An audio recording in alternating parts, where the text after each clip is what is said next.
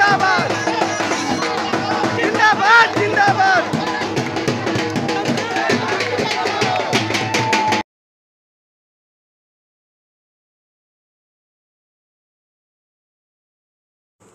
आज social media के माध्यम से एक वीडियो मेरे संज्ञान में आया है, जिसमें थाना गौर के लाइन हाजिर किए गए थाना प्रभारी शमशेर बहादुर सिंह की फेयरवेल में पुलिस बल ने अमर्यादित व्यवहार किया।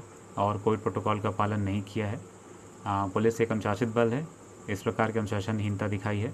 उसी वीडियो के आधार पर पाँच पुलिसकर्मी, जिसमें से एक इंस्पेक्टर शमशेर बहादुर सिंह हैं, एक एसआई भीम सिंह, एक एसआई अजय सिंह, एक कांस्टेबल प्रमोद कुमार, कांस्टेबल मनोज यादव। इनको तत्काल प्रभाव से निलंबित कर दिया गया है। शेष अन्य के बारे में जानकारी की जा रही है।